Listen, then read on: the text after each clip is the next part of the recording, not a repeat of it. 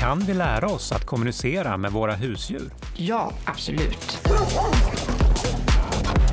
Kom till! Doris! Nu tappade vi GoPro-kameran här. Det vi har kommit fram till det är att det är väldigt tydligt att människor gärna vill kommunicera med husdjur. Men också att husdjuren gärna kommunicerar med oss. Eh, varför forskar ni på det här? Samtalsforskningen har tittat mycket på hur människor gör och identifierat kommunikativa mönster. Människa och husdjur blir liksom nästa steg. Men hej, välkomna! Men kom in, vi jobbar liksom hemma idag. Hej Doris, ska vi börja med lite kaffe kanske? Gärna. Det är ett ganska nytt forskningsfält så att det är faktiskt inte speciellt många på jorden som håller på med det ännu. Så att för oss är det ju otroligt spännande att vara med och utveckla det här fältet. Och vi kallar fältet inkluderande lingvistik. Och idén med det forskningsfältet är att det inte bara är människan som har språk, utan andra arter på jorden har också kommunikativa system och de är värda att undersöka. Och det är det vi gör.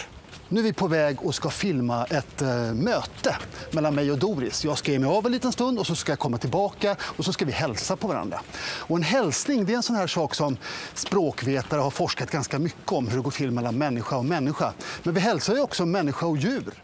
Det vi gör när vi forskar det är att vi filmar och så tittar vi väldigt noga på filmerna. Och det gör vi för att se hur interaktionen rent konkret går till. Både när det gäller språk, och blick, och gester och beröring.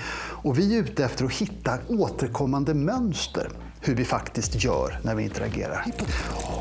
Djuret kanske inte alltid gör på samma sätt som du, men fortfarande vill djuret liknande saker som du slicka i ansiktet och nosa i skrevet. Sådana saker kanske djuret gör som sånt där vi gör när vi hälsar. Och vi människor kan då reagera att du gör fel eller så gör man inte.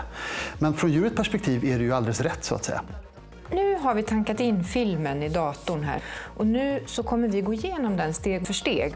I den här nära hälsningen, där så ruskar hon sig och där så säger jag ja och jag ruskar också. Titta, alltså vi vet ju att människor anpassar sig otroligt mycket till andra människor. Vi speglar varandra. Och vi har kunnat se i våra studier att människor också speglar djur, både med rösten men också kroppsligt. Om man vill göra en studie av hur människor och hundar hälsar på varandra så räcker det ju inte bara med exemplet på Stefan och Doris. Utan vi samlar ihop flera sådana här exempel. Vi vill ha tillräckligt många för att kunna säga det här är ett vanligt mönster. Ungefär så här brukar det gå till när människor och hundar möts och hälsar på varandra. Här kommer boll in i bild. Helt naturligt. Titta Doris! Hittills har vi undersökt kommunikation mellan katt och människa, hund och människa, häst och människa. Det verkar faktiskt som att våra vanligaste husdjur anpassar sig ganska mycket till oss människor.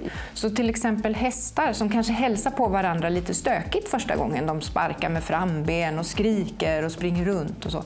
De hälsar mycket mjukare och anpassar sig till människor. Och katter de har ju utvecklat ett språk där de jamar till människor, vilket de inte gör till andra katter i någon speciellt stor utsträckning.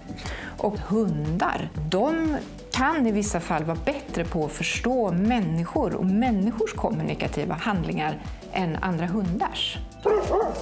Oj! Ja, den var snygg. Vad har varit svårast hittills med i forskning? En av de svåraste sakerna är såklart att vi är människor och försöker tolka djur. Vi får liksom jobba runt det problemet lite för att försöka förstå vad djur menar inte låta henne kissa på gräset här. Det får man inte i den här bostadsrättsföreningen. I alla fall inte om man är hund.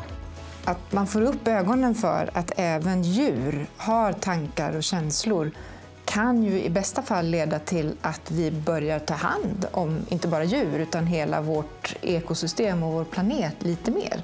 Och att vi människor blir lite mer ödmjuka och inte ser oss som den enda arten som har ett värde.